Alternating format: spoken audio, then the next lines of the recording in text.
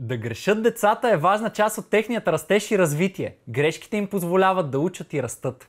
В книгата си Даровете на неуспеха авторката Джесика Лейхи ще ни даде един нов поглед върху разгръщането на потенциала на децата и ще очертая ясен план как родители, учители и психолози да им осигурят необходимата свобода, за да бъдат подготвени за бъдещето, когато ще трябва да разчитат единствено и само на себе си. Когато децата се сблъскат с грешки, те имат възможност да изследват причините за тях, да освояват нови умения и да намерят решения.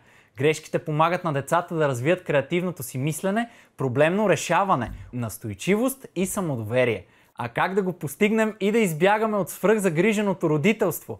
Разберете в книгата Даровете на неуспеха.